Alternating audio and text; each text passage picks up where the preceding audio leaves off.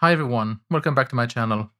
Today in this episode about the Sky130 ROM compiler, uh, we're not going to talk exactly about the design of the compiler of the or the ROM itself, but rather I'd like to present a little bit about what I've taped out on Tiny Tapeout 09 and the kind of uh, testing and characterization that this will allow me to do. So I thought I'd make this episode a little bit less scripted and just me commenting over a screen capture basically. If you go onto the Tiny Tapeout website, you can go into the Tiny Tapeout chips and then Tiny Tapeout 09. And here you will find the list of all the projects that have been taped out. If you look for ROM, you will find two tests that I've taped out. Uh, they're basically the same. There's just one where I changed the type of transistor that I used in the bit array. I used for one the uh, low voltage threshold type and for the other one the, the normal ones. I just want to compare performance and uh, leakage current basically. These are not the only two projects using a ROM built by my compiler though. There is also the Atari 2600 by Renaldas. This project also uses um, a ROM that I built to store cartridges, basically ROM cartridges for the Atari 2600 that he built on Tiny Tapeout 09, so that even if you don't upload any ROM on external memory, you can still run the Atari 2600. And so there is four built-in ROMs um, using that compiler, and, and, we can look at that uh, quickly. If you want to download for yourself and just inspect for yourself, you can go here into the GitHub repository, and then here in release, you can find the Oasis file and download it and then you can inspect and, and load it into KLayout. I've already downloaded it, and so I've already started KLayout here, so we can look at that. I will first start by hiding some stuff we don't need, like we don't need to look at the fill pattern or the seal ring. And I will also hide most of the metal layer, or actually most of the layer. And I'll just, for now, I'll just actually show poly, the, the polysilicon. So I know where my ROM macros are, they're in the bottom. Um, and this is actually here, this whole big block, which I can possibly select here. Like this, this whole block is um, the Atari 2600 by Renaldas. And so you can see here the four ROM macros. There is three here and then um, one here. And you can recognize them because of their very, very irregular structure. Like you can see all the um, vertical word lines and, and, things like that. They're very easy to spot. And each of them is uh, 32 kilobits in size. So that is four kilobytes, right? Yes, they're each uh, four kilobytes. And they, they're all 8 bits output. And these are the two uh, blocks that I built for testing. Um, you can see here, this macro is basically exactly the same as the one in the Atari 2600. It's a 32 kilobits ROM. And then I have got two smaller ROMs. Each of them is 4 kilobits. Um, they are all 8 bits output. And here, the difference between the two 4 kilobits ones is the aspect ratio. So one of them has basically a higher mix ratio of bit line to output line, but has less word line. And the other one has more word lines, but less uh, bit lines to be uh, mixed down, basically. And, and this block here is a bit of digital logic uh, using just the standard cell library that allows me to send uh, test signals basically to all those ROMs and, and, and interact with those ROMs uh, through the mux to try to do different uh, kind of uh, characterization. Uh, let's look at one of the macro in more detail. Um, let me find it in the hierarchy. I think the TNT ROM test. Okay, so let me just, okay, so I have just here this macro. And we can actually look at it, just the 32K macro, for instance. Okay. So this is the 32K macro only. I'm only showing poly here just so you can see what what's existing. But um, what's interesting is to look at the hierarchy because these macro are not currently entirely automatically generated. That's that's why the ROM compiler is not published yet. There is still some sizing and stuff that I need to do, uh, and some of the the um, routing is still done manually. Uh, but if I only the core here, the um, you can see the inside the ROM 32k macro, there is a core macro, and that part is automatically generated. So let me actually just show just that and show all the layers. Uh, show all. So all of that part is automatically generated, and that includes the bit array programmed with the content. That also includes the muxing down of the bit lines. That includes the word line drivers and the address decoding for all the word lines. And that, incu- that includes some of the drivers for the address decoding and stuff like that. But you can see that this is connected to nothing, and there's a bunch of other stuff that is not connected. And that is what I need to do still manually. If we look at the complete macro and we actually hide the part that is automatically generated, okay, this is the stuff that is still done manually. And you can see that here in the bottom, there is really not much. The only thing you find is basically some power rails. Um, these are not actually even needed. It's just gilding the lilies. But so you've got like uh, some MET3 power rails that will connect upstream. Then there is a bunch of just metal one connections between the um, if I show it again here, like these blocks, which are like the drivers for the address decoders uh, and the actual address decoders, the connections are not done automatically because some needs to be straight, some needs to, you know, bend at 90 degree and stuff like that. So I haven't actually implemented that. It's nothing much, but I still need to do it.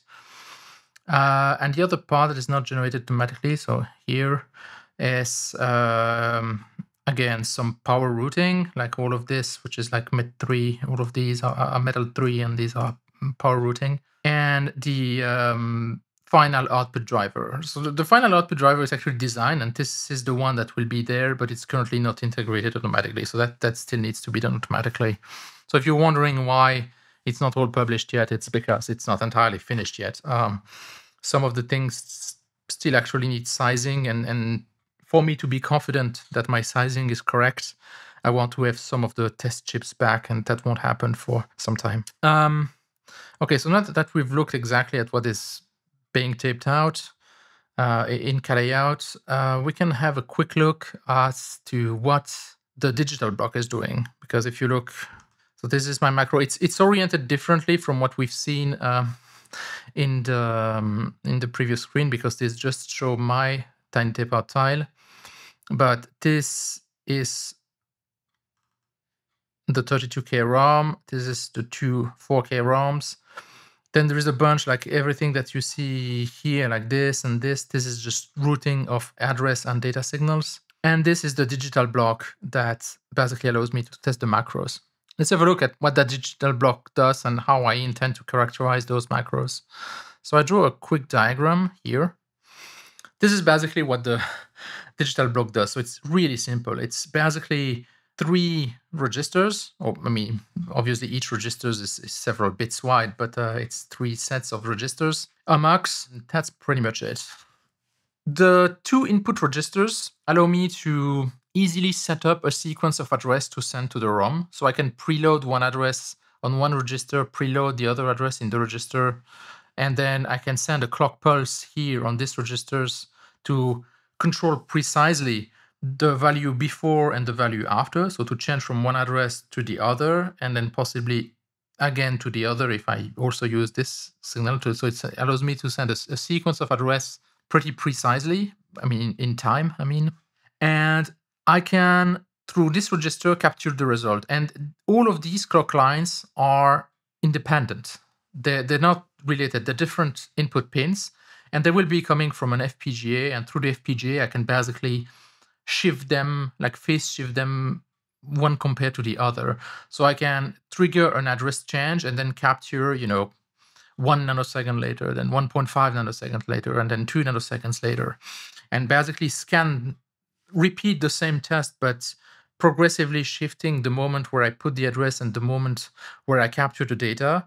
And I can see, you know, okay, after how, how much time, how much time uh, did the ROM need to go from the previous data to the next data and um, capture both the hold time and the setup time like this, basically, you know, what's the minimum time it took for the one data to change and when was it completely done changing.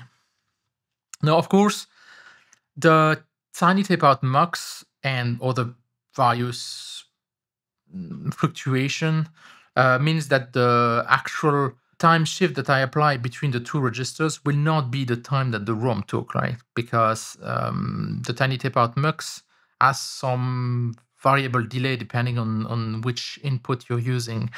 It's not much, but it, it can affect the results. That's why here I have a pass-through. Uh, this pass-through will basically allow me to hopefully calibrate a lot um, of the variation, both pin to pin and uh, and also for the various data pins and stuff like that, so that I can calibrate out so, some of the mux delays. There is also a pass-through for some of the bits that goes basically next to the ROM. So like, like this like kind of dashed line that I've uh, drawn here. It's one of the bit of address that directly bypasses the ROM and then goes to the mux to be captured. So I'm actually capturing more than 8 bits. I'm, I'm actually capturing 10 bits here. And two of those bits are, are sort of uh, bypass bits. If, if we look in the um, layout itself, if we look at the big, yeah, here for instance, all the address come to here. They're the metal three lines. So here you've got the, all of these address lines. They go to all the ROM. And you can see that they go they come from the digital block and they go and they go to the address inputs of the ROM. But a couple of them actually don't go to the ROM at all. Instead, they just go down and just loop back and they go to those pink line that you see here. And those pink lines, two of them will be just basically looping back directly from address bits and all the other, they come from the outputs of the ROM. And it's to try and um, calibrate out routing delays so that I can try and measure only the delay of the of the ROM itself, basically. So all of these kind of, of tricks are to try to be able to measure exactly what the ROM itself is doing independently of the various routing delays that I have here, or the various routing delays that exist in the Tiny Tape Out Mux, and even of some of the delays that I have in my digital block here. I hope it will work. We'll see uh, when I get the chip back, but um, that will probably only be middle of 2025 so it's going to be a while. Some other interesting aspect of of how i designed this test I, at least i think it's interesting is this digital block. If i hide a bunch of the thing let's just look at poly maybe and and and li or something. Actually just poly is fine. Um, but you can see they are, it's made out of standard cell but it's very ordered. Like I didn't just write some Verilog and then let it compile a digital block. I, I wanted things to be as neat as possible, uh, mostly so that things are as matched as possible. If you look at the Metal 1 drawing, um, for instance, uh, all the connections, you know, they're, they're all really neat. You can see it's very ordered. Uh, there is actually very little uh, Metal 2 except for basically all the com- connection coming in and all the com- connection coming um, out um, for the address and stuff like that. Um, everything is clean and neat to try and well being as matched as possible. Now, obviously, drawing this by hand would have been an absolute major pain. I, have done it for a, a, previous project, and that that was really a pain. And this one has more connections. Um, so what I ended up doing is this. Let me, if I go to the Tiny Tape Out website, and you can find the ROM project, and this will lead you to the Git repository of the project, and that includes Pi. So I do have, I do have, um, I will say, here is the very Verilog description of the block. I've, I've written it. I've actually manually instantiated every cell here um, so that I could control the names and stuff like that. Um, but this description has not been used at all for synthesis. The only reason I've written it here is for LVS, is to check afterwards that what I drew uh, um, actually matched what I intended to draw. But that block is in fact done by Gen Control. And Gen Control is basically I'm hoping to refine this in the future, but it's been useful here.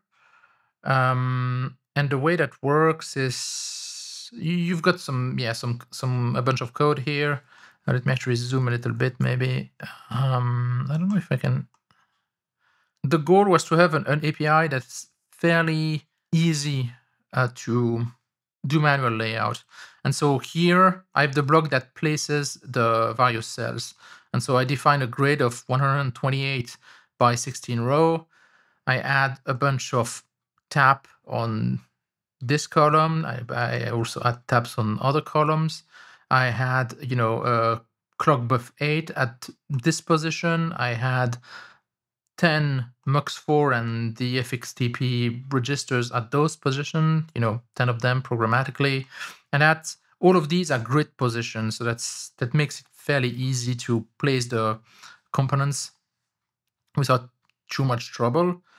Uh, and then here, fill and decap is just, you know, every other side that wasn't filled with the cells that are manually placed, fill them with decap and, and, and fill cells, basically. This generates the power rails, basically bring them into Met4. Uh, if we look here, I think if we look at metal 4, so it basically generated those mm, rails. Let me actually just just look at the control block. So yeah, if I had metal 1, it generated those those rails here, those four rails. Um, you know, force and true says if it's for power or, or ground, basically. So, and then finally, the important part is the routing. This is done using, I think, an API that's not too annoying. You do still have to. You're not routing uh, from from the cells themselves. You just still have to specify some coordinates, but you just specify them using um, the the column, so the x position, basically the row, and then inside the row which track, uh, because you know in standard cells you have tracks inside the, each row, and so you specify the the the cell position and then inside the cell position which track you want to connect to. And then you say okay i'm starting here in the layer li. I want to go to met1 i want to go to met2 i want to move to this position, and then you can do this either in absolute or relative coordinates. Uh, and then I end the routing, and then you can create a pad, and then you can start another path. And so it creates all those routes.